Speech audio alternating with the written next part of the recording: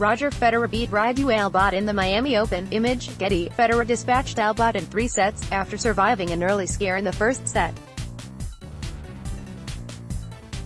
The Moldovan took the first set 6-3 and looked on course for an unlikely upset, before the three-time champion took back control in the second set. The third was fairly routine, as Federer ran away with a 6-3 win to see out the match. Speaking after the game, Federer expressed that he was surprised by the way Albot moved towards the net. I expected a player with a great attitude, which he showed, he said, an aggressive baseliner, who moves well. He's not afraid to come to the net, the problem is I've never practiced with him, I've never really seen him play live matches, I thought it was hard.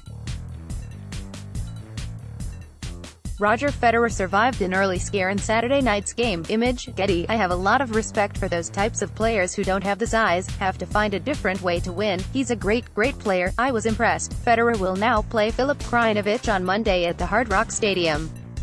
Radu Albot took the first set against Roger Federer. Image, Getty. This year is the first time the Open has taken place in the Miami Dolphin Stadium, and Federer spoke about how he has found playing in a new arena, it's always going to feel very different in a massive place like this. He continued, it was definitely different, especially very different to Key Biscayne last year. I'm happy I got it out of the way.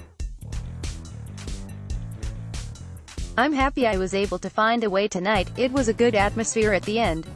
I thought it was quite electric, how it usually is in Miami. I'm happy that hasn't gone away.